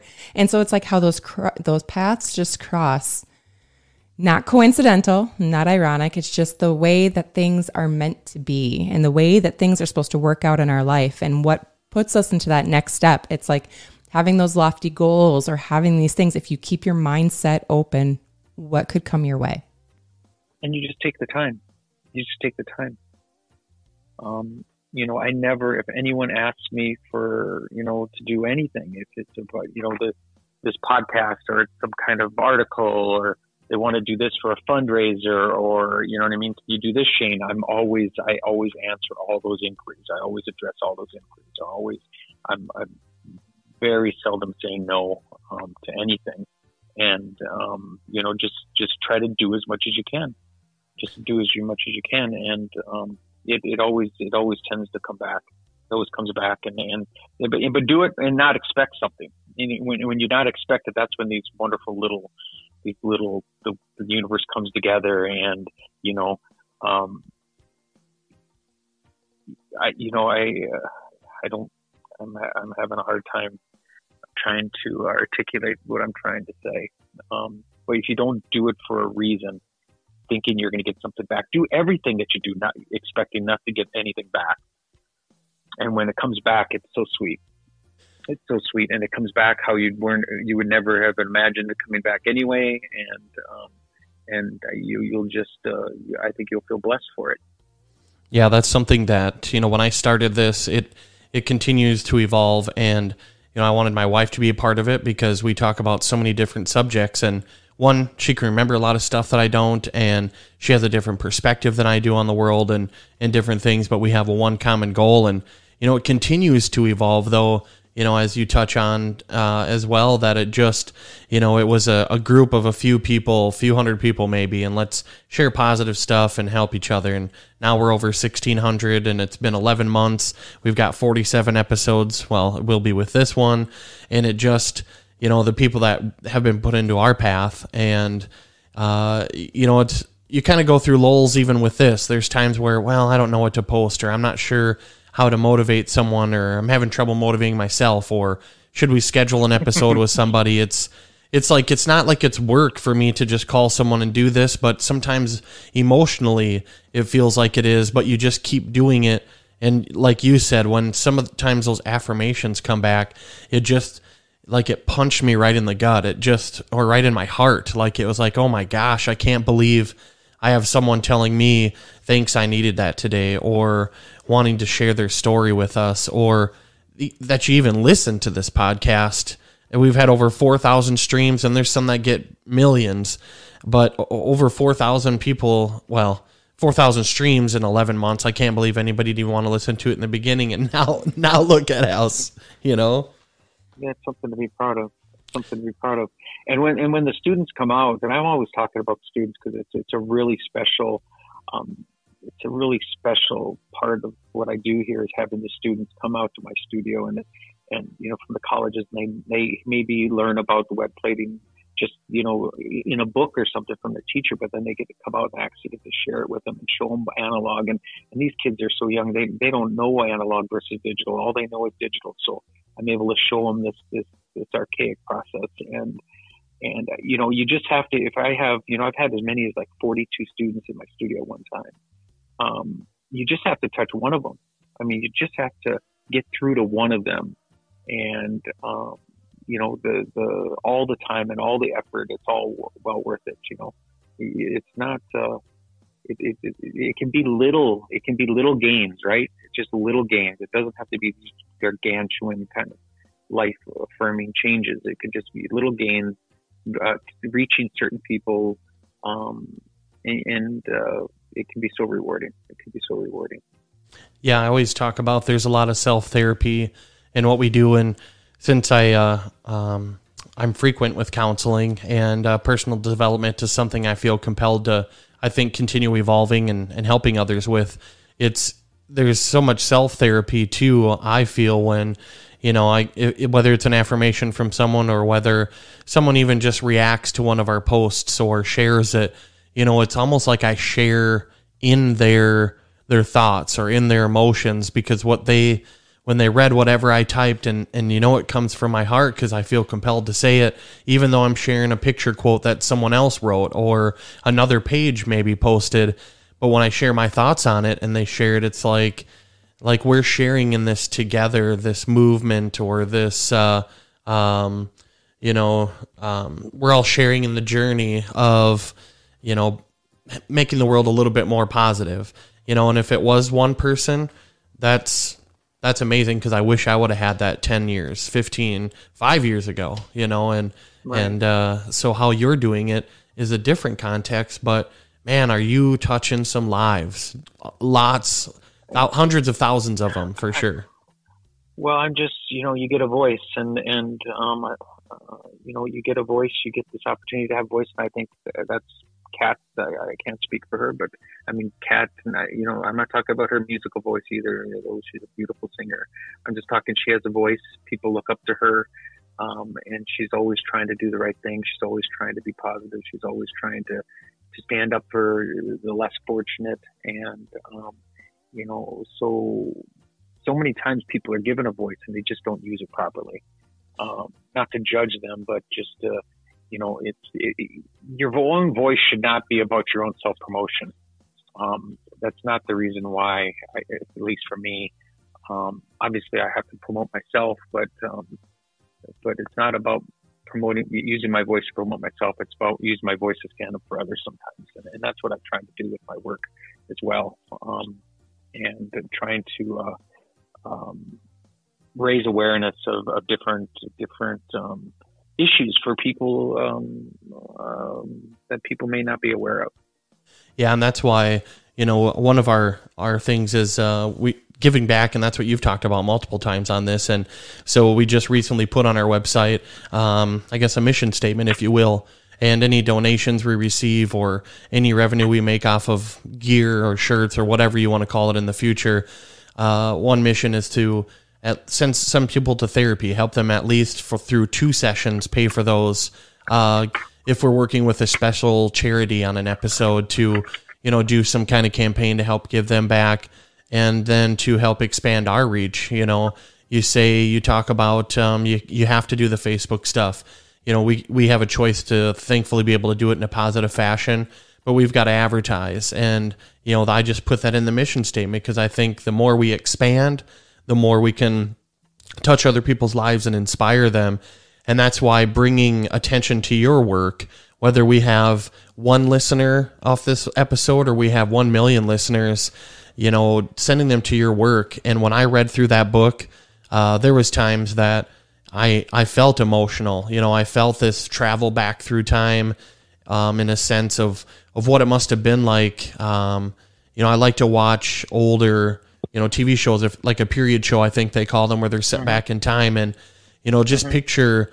In me, it's a gratitude thing, but gosh, think of what it must have been like to to live like that, uh, and and how easy, nice we do have it today.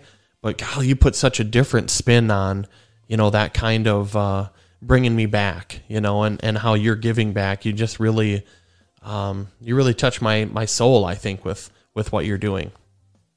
Well, I, I think it's about the human condition, right? Um, the human condition that we're all in this together. We're all we all come in, we all go out. Um, th- th- these are inevitable facts, and um, the human condition. Um, you know, to be, to be able to document um, some particular people um, during my time here, uh, you know, um, and I, you know, to leave some kind of record behind. It's, it's I don't, I don't know why. Um, I hope it's not a vanity thing, um, but I, I want to leave something behind that shows, uh, says, you know, that we were here, not just just not me, but everyone who sat for me. That we are here. This is who we were. This is who you know who we are, um, and and some proof of our existence. Um, I, I don't. That for me, that's what it's all about. Um, some kind of document, and there, there's no finer document on this planet than No. a wet plate collodion photograph. And I don't find that vanity at all. Hmm. No, I hope not, but you know, No, there's no way that you can interpret this episode. And when people go to, and we'll we'll enter what we call the shameless plug zone after a bit, and talk about how to look at all your your things and check you out. But um, one thing that I can say for sure, I've said the word modesty and, and humbleness. I don't know how many times, but you have a certain passion um, that comes out of when you talk about this, and and vanity is the the, the last thing that I would think of in this, and you know, I'm inspired um, on so many different levels, you know, with something like this. So um, I can't wait well, I to. appreciate it. I get there. appreciate it. I'm, I appreciate it. I'm just I'm just doing me. um, the only the only way I know how, you know. Yeah, you once you uh you get your thousand um, um, wet plates done, then you can do a follow up documentary, and you call just doing me. yeah, people ask me, "Are you are you are you really going to stop at a thousand? And the answer is absolutely not. Um, I just had to throw some stupid number out there to kind of you know like let's really challenge ourselves. But you know, I knew if I said a thousand, I just I knew what I was in for. Um, I knew what I was, you know, um, the goal that I was setting was was huge. And um, but there's something about that, you know. I just, you know, on other things like um, the, the, the, we went in into the pandemic. We went into lockdown on March uh, March 15th. My family and I, when we, you know, when we were all first locked down, and uh, I have not, uh, you know, I talk about positive things as well. Um, I have not. I've run every day since March 16th of this year, um, three miles a day. So yesterday, um, I was at, I want to say 700 and some miles I've run. Um, I have not missed a day since March, March 16th I've run. And, my goal is to run, um, run three miles a day for an entire year. That'll take me well over a thousand miles. And, um, when, uh, I get to that day, I want to take the day off of work. I'm going to do like a little, um, carry my phone with me on my run and do a video as I'm running and talk about, you know, what this last year of running. I, I think at first I was running from the pandemic because um, I, I really didn't know what what was coming. And um, but as a positive thing is that you know fitness and and taking care of your body is, also very important. Um, and I've been running. Um, you know, I'm, I'm approaching probably Chicago now um, for these three miles a day. Um, it doesn't three miles doesn't seem like a lot, um, but if you have to do it every day, no matter how you're feeling, uh, it's uh, it is a daunting task for someone who's 51 years of age. But here I find myself, you know, um, three, you know, two thirds of the way through, and I, I can't wait to get to March 15th and, and make and, and get to that goal and and to uh, and to put this down that I ran three miles a day for an entire year running. Wow. Well, and it's going to be pretty damn hard here. Come up in a couple few months when it's maybe 30 below up there, and that's something a lot of people. Oh, yeah, I'll I'll just go on the treadmill. Oh, okay. I'm okay. I'm not crazy. but yeah, no, it's uh, it, it's something. It's uh, and I don't, you know, why I why I did that. You know what I mean? We were talking about the thousand plates, and then why am I why am I pushing myself physically? So during all of this, I'm pushing myself physically. Um, you know, your feet ache and your knees ache or your back aches. I mean, there's just days that you just don't want to put the shoes on, and I'm just no matter what happens on that day, I am finding my 30 minutes and running my three miles, come hell or high water and I don't have no idea what's pushing me to do this, but um, um, you know, it's my little Everest, my little physical Everest at 51 years of age to to do this, and I'm gonna, I'm just one step at a time. But it, you know, it goes back to my wet plate creative life too, my journey. You know what I mean? It's the same thing, one step at a time, just one step at a time. So when that, you know, a couple months ago, a young uh, wet plate uh, Collodion photographer called me up and wanted to wanted to know my secret. He called it of well, how I become so successful at this, and I'm like I didn't have an answer for him. You know, I said kindness, kindness, do something for someone else. That's always what I've done. So you know, but it's not it's not it's not that secret where you just push a button and it happens. You know, it's it's the long, arduous journey, just similar to like this running that I'm doing right now. I mean, why am I pushing myself to do this? I, have, I don't have an answer for that. I just, I started running. I put it in my mind that I was going to do it, and I just, I'm just continuing to do it no matter what. And that, and that's how I do my my work here too, and my, my photography is that I'm just continuing to one plate at a time.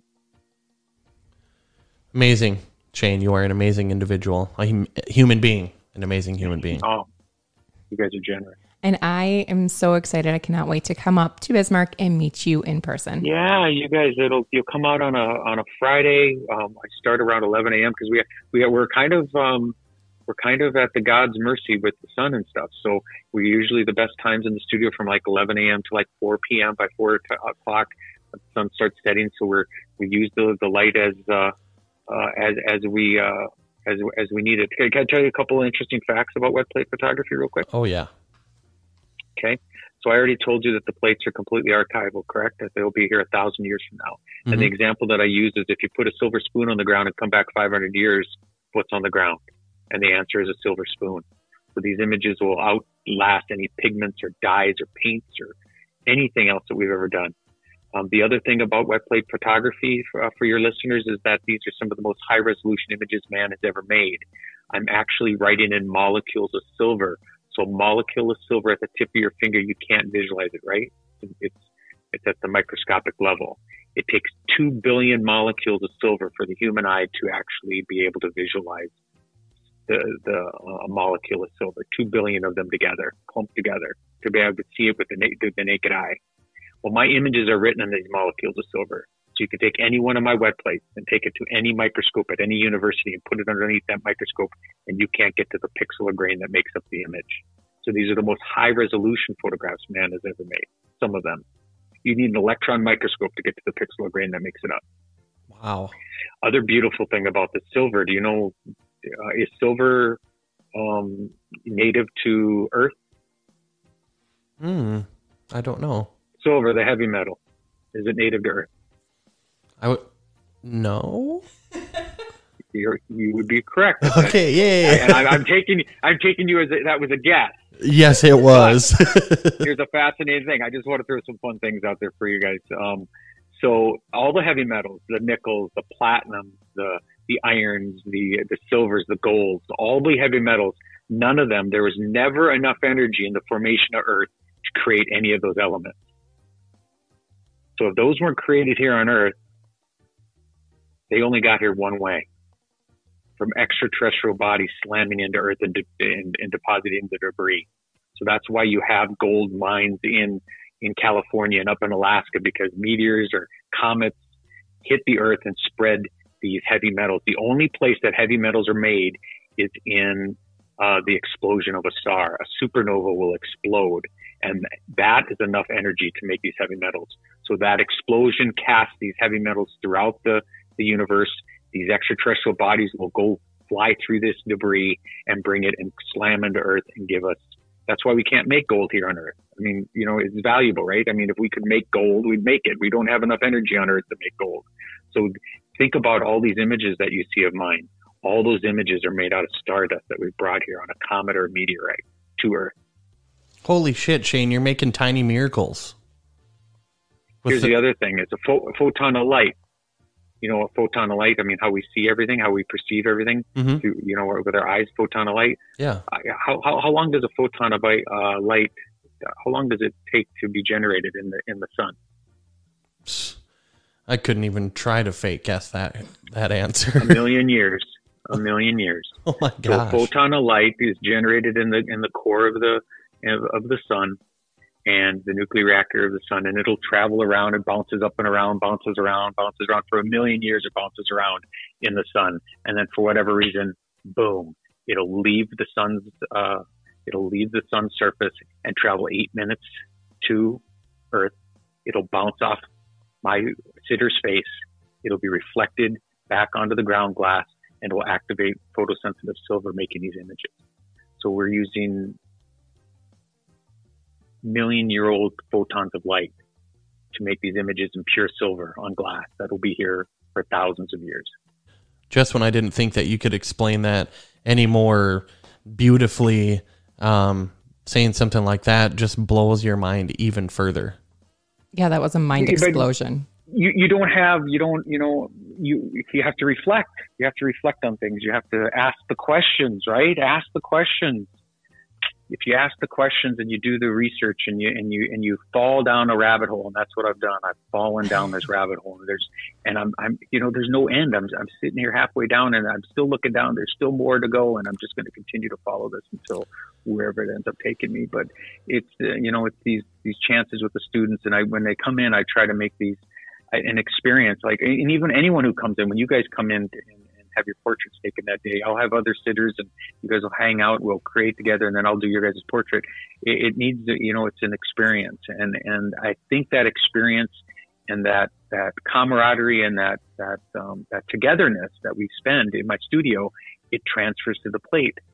And the people that see these images and if they like them, they're seeing that, but they just don't understand why they think, you know, why the image I, I, a lot of people they don't understand why they like the image. But I think it, this is this is me again being romantic. I think it's all these layers of what it took to get the image, and all these little elements coming together.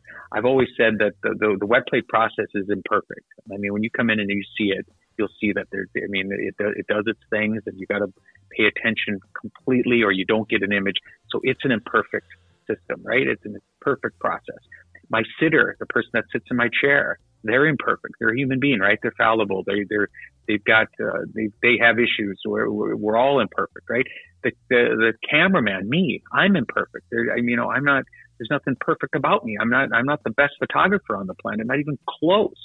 But when you have all these imperfect things coming together, the process, the sitter, the photographer, all these imperfect things come together.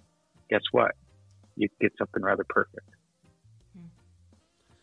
I it just makes me speechless. It really does. The way that you you engage thoughts, and that's one of we say that in every outro of our podcast. That um, we also want to just have episodes that engage your thoughts, and so much of what you're talking about can be put into you know I've continue keep saying this. I'm a broken record tonight, but um, personal development, and that was another um, little episode I listened to the other day, and it was you you have to ask the questions. You know, you got to find out what's your focus in life, and and is it a positive focus, and and how are you going to change you know what you want to you know sometimes it's how you ask the question you know like i'm going to go on a diet or you know what if you said I'm going to change my life and eat this way for the rest of my life because I want to be happy, because I want to be more productive. I want to be able to hang out with my kids and grandkids. And, you know, it paints a picture when you ask the question the right way.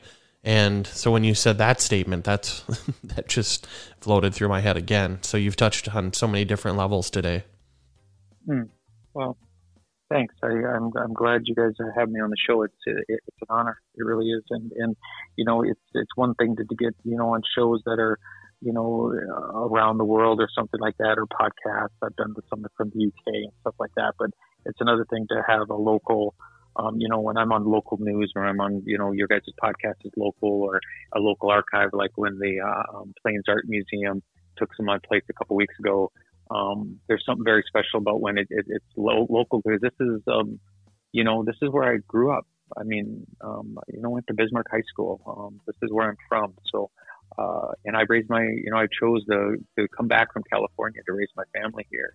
I've got four children a beautiful wife, and we've been uh, married for nearly 20 years. And, um, you know, these were all decisions that I had made to, you know, give up what I thought what I was doing in California was so important, you know, um, in the business world. And then I came back here and didn't know what I was going to do. And then how does a businessman become an oncology nurse and, and, um, you know, and then to become uh, a businessman and then, then to become an artist. I mean, that's one thing that people can take away from my little story.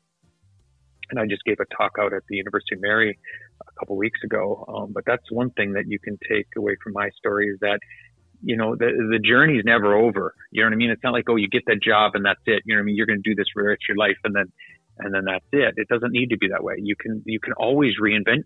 Look at how many times I've reinvented myself about you know 51 yeah, that years really of age and all the all these all these reinventions of myself, all these things that I've done. Um, these are all different things. A businessman and a college nurse. I mean, I, I, will go back to Bismarck State College I mean, in business school, which I had previously. I got my degree in at college from California in business. I mean, there's no science whatsoever in that pursuit. And I come back. Um, my grandfather has a stroke. Um, and goes up to St. Vincent's. And I, I came back from California and I was, I, I felt like I was kind of depressed at the time. Um, and so I would go up and spend time with my grandfather in the afternoons. I'd go and spend 15 minutes with them, And then my 15 minutes became a half hour, became an hour. And the next thing you know, the, the nuns and the nurses were asking me, well, can you walk this person or can you play checkers with this person or can you sit with this person?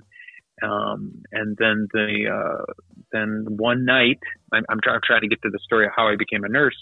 Um, one night, one of the the nurses from the nurses station walked up to me and said, um, "Shane, we have a, a resident that um, is passing away tonight. We're so busy on the floor, we're afraid that she may pass away um, without anyone being in the room. Would you sit with her?"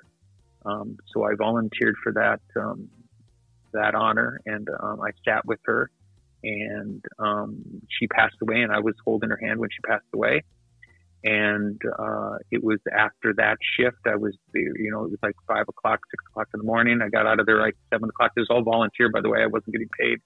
Um, and I drove by the school of nursing, uh, Med Center One School of Nursing, and I pulled over and I walked in and asked to see the dean. The dean says, "I'm in here." And I walked in and sat down, and he, uh, we talked for an hour, and um, I was on my way to become a nurse. Um, so that's how a businessman becomes a nurse. But I, I, guess the story is is that you know just be open to things, and um, I've always been open, and you and you're never stuck. Don't ever feel stuck. If you don't like where you're at or what you're doing, um, just change it. Try something different. I don't have all the answers. I mean, this hasn't been perfect, um, but uh, you know, I've always been willing to change, and, and that's how I've been able to reinvent my myself. And, and, and now, as an artist, I'm just I, I, I was meant to do this. This is what I was always meant to do. and just took a long path around it, but it was being open and, and um, available to different different ideas um, that that got me to where I'm at today. And all those things you went through and all those different paths you took led you to where you are today. They helped you to probably find your passion. They helped you to inspire these because life is not, like you said, it's not just going to happen to you. You have to go after it. And you can't always like look back. It's all about, okay, now where's this next path going to take me? Because it's not accidental that you go through things like this. Yeah, and and with the nursing, I mean, you have to think that me chasing nursing. I mean, I was trying to give back, right? I mean, they they would give me a pager, and when someone was not doing so well at the at the um, at the nursing home, they would page me, and I'd go and sit with them just just so they weren't alone. And I didn't know anything about nursing. I knew how to hold a hand, and I knew to put a, how to put a cold washcloth to their forehead. And me doing that and and that volunteering up there got me out of that rut that I felt I was in coming back from Cal, you know California. Didn't know what I was doing, and got me on this path of trying to help other people. It was it was um, you know, and then and then it just made sense when I graduated. So I had to go up to BSC again uh, and and get a degree, and then I had to go to the you know I got my four year degree in nursing eventually, Uh, but then I knew where I was going to go. I was going to oncology. I was going where every day, every patient on that floor needed me. I mean, there's other floors, you know what I mean, um, that it's not as dire or um, circumstances aren't as high as uh, I mean, they don't get any higher than on oncology. And with the death and dying, and I heard he had experience um, with the death and dying issues, uh, you know, up at the at the nursing home. So it just it's the only place. I graduated on a Friday. I was day one Monday on the oncology floor at Med Center One. I had 13 patients. I had never been a nurse on the floor. I mean, I never had, I mean, I never CNA. I had no experience, practical experience whatsoever being a nurse other than my, you know, my studies and my clinical rotations and stuff at the college. And here I was um, taking care of 13 oncology patients the first day of work. Wow. You're, I did that. I did that for five years. Your passion for compassion is is immense, and if the the world had a quarter or a half of of your passion f- to have compassion for the other human beings out there, I think the world would be in a hell of a lot better situation than it is, you know, right now. So um, you are and continue to be and will always be an inspiration. No, thanks, Steve. I appreciate it. Well, I cert- I really mean it because this is uh, one of the one of the best interviews we've had um, up to date, and uh, all of them have been special in their own right. But um, I've been um, inspired and enthralled and and motivated, and my engaging my thoughts. It's just been. I'd like to have one of those. Uh, uh, brain analyst things hooked up to my head to see how how my brain was flying around throughout this whole episode because it's just been been amazing and I can't thank you enough. Well, we won't. We won't let tonight be, um, you know, our only time together. So I, I, I made the offer to you and the wife to come out. So you guys just have to let me know what Friday that you can uh, come into into Bismarck, and uh, you'll come in, and we will we'll spend the whole afternoon together, and we'll be creating. I'll have other sitters and stuff, and you'll get to see me do my thing, and I'll, I'll do the whole. I'll run through the whole process with you, and and um, I, I think um, I think we'll have a good day together. So. Ooh, I can't wait. I'm so excited. So, um, I look forward to it. Thank you. Is uh, well, is there anything that you think that uh, we missed that you want to get out there, or do you want to enter the shameless plug zone and tell us how to find you and uh, learn about you and all that that good stuff? Yeah, I mean it's pretty simple. Um, you know, uh, the documentary Balkowitsch again. My last name is on Amazon Prime. Um, if people want to find me on Facebook, I'm Shane Balkowitsch on Facebook. I also run a um, a wet plate group called Friends of Frederick Scott Archer, the guy who invented it. So it's called Friends of Frederick Scott Archer. If you're interested in wet plate photography, um, when I started uh, wet plate photography here in North Dakota, I was the only one, and now there's five of us uh, in North Dakota, and we are we're forming a little group, and we're we're doing um, we're doing putting some words down, formal words about what we're doing here in, in this time and era together, creating in this process. We're going to get a little logo, and it's, it's going to be really kind of kind of cool. So, um, so you know, if people are interested in wet plate photography, they can go out to Friends of Frederick Scott Archer, um, which is my group, and then if um, I'm on Instagram as Shane as as in Balkowitsch, Shane Balkowitsch as well. And if people want to learn more about me, find my website and stuff instead of me just giving you one particular website, if you just go to Google and type in Balkowitsch wet plate, two words, um, wet and plate separated. Um, you're going to get all the articles um, that have been written about me, and you, um, I've done TEDx talks and and other podcasts and, and things like that. So, and then you can look at uh, some of my photography. And if anyone's interested in, in coming out and wanting to see more, I, I have an open door policy on my Friday. You never know who may just be showing up. So, um, just uh, have someone, you know, your listeners can just message me if they're interested and, and then I will, I'll look at the calendar. We'll figure something out and they can come in and spend the afternoon if they want in my studio and I'll show them what this is all about. Because it, for me, it's all about the sharing of, um, of this process about keeping it alive and and letting people know that it's, it's still a viable uh, form of art. And um, you know, there's a small group of us that are still trying to keep this alive. So um, yeah, I'm, I'm, you can find me on uh, Facebook uh, and uh, Google and stuff like that. So amazing! You were absolutely amazing, and I can't thank you enough, Catherine. Do you have some thoughts on everything? I just feel very blessed to have been able to have this conversation with you and so honored that you would welcome us into your studio. Of course, yeah. We will um uh, maybe we can do uh, a little recording here or something on that day too, or something like that. That'd be kind of fun. Maybe on on on set or something like that. That may be fun in the studio. But, Yeah. uh, we'll we'll uh, we'll it'll be a good day. Whatever. I just getting to uh, meet you guys for the first time because we've never met before. Getting to meet you and show you this process that I've been talking to you about. Um, it'll be rewarding. So, and then I'll do a I'll do a portrait for your family. So it'll be uh, we'll we'll, uh, we'll document some history here as well. Okay. Well, in the good Dakota language, oofta. I can't believe that that we even get to we get that opportunity. So uh, uh, we'll be getting a hold of you very soon. I think. My my pleasure, you guys. My pleasure. okay. Well, thank you very much, Shane. Um, we appreciate um, the time that you gave us, and uh, um, you know we'll uh, I'll get you a copy of this right away. So um, as soon as we're done, we can um, you can do what you need to with that, and then um, yes, that'd be awesome. yeah, it'll come out this next Wednesday. So we'll share yeah, it with you the world. should share the share the link with me or whatever. I mean, um, you can just reach me at like Shane at balkowitsch.com, my email, and you can I don't know we transfer whatever you want to do. I'll make sure Yep. that it's documented properly and labeled properly, so when it gets up there, um, people know exactly who uh, who is responsible for it. Okay. Thank you so much. Yeah, that's what we use as the WeTransfer. So I'll uh, um, I'll finish it up tonight Yeah, and get yeah, it to no you. pro- yeah, no, no problem. So I, I hope I was able to give uh, your listeners something um, different. Uh, hopefully. Absolutely. Well, have a great evening, Shane. And thank you Okay. for your family as well for allowing you to share your time with us. Yeah, definitely. I'll, I'll, t- I'll tell them thanks when I get up to the house. Okay. Yep. Perfect. Thanks, Shane. Okay. You guys sleep well. We'll talk to you soon. You too. Thank you. Okay. Bye. Yeah, bye. Well, holy smokes. I know. Wow. yeah, I'm not sure what to say about that. Um, it's one of our, our longer episodes, which uh, just tells you how enthralled that we were because I didn't.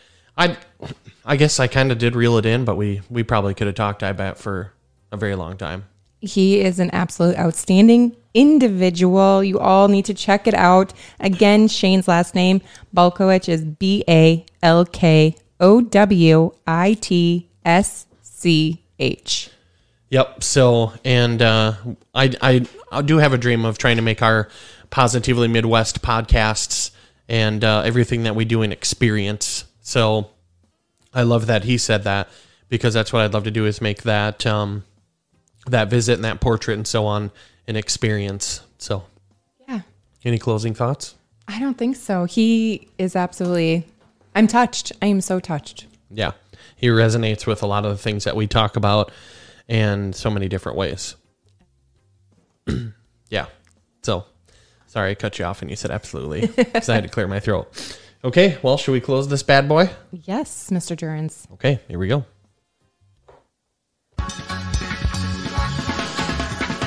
Thank you all from the bottom of our hearts for listening to the Positively Midwest podcast. Our hope is to inspire, engage each other's thoughts, and to leave you with some great advice. Be sure to join our Facebook group and follow us on Instagram at Positively Midwest Podcast. Make sure you like, comment, share, and screenshot our podcast with all your cool friends. Every little bit helps. We are on most all major platforms, and you can stream it on our website at positivelymidwest.com. Thank you, and as always, please always stay positive.